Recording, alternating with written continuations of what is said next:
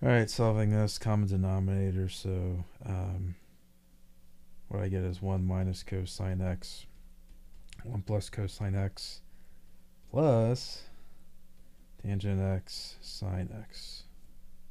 All right, tangent x, 1 plus cosine x, and I get 1 minus cosine squared x plus tangent x times sine x.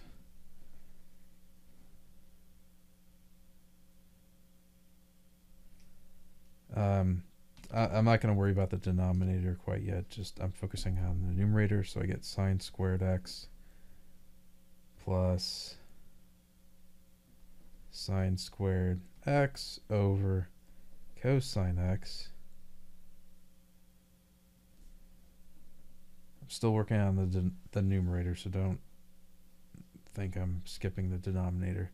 So I get sine squared x cosine x plus sine squared x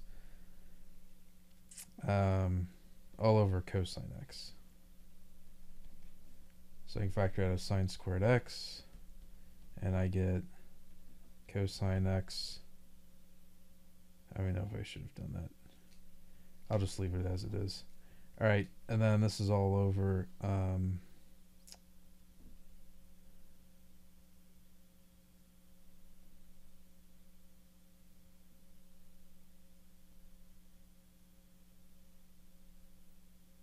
tangent x plus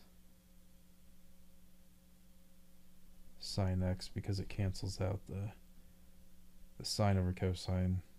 Oh wait, never mind.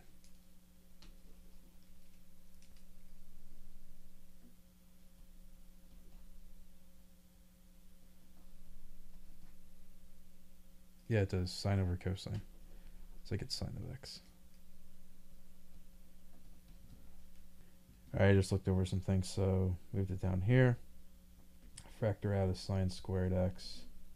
So you get cosine x plus 1 over sine x. Ooh, that works out nice. Um, 1 plus cosine x. The, these are actually the same. Cosine x plus 1, 1 plus cosine x. So these cancel out. And then one of these cancels out this. And I just end up with sine x. Hey, that worked out pretty nice. Cool. Hope that helps.